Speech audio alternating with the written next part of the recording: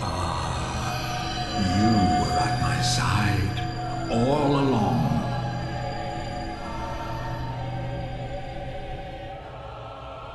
My true mentor, my guiding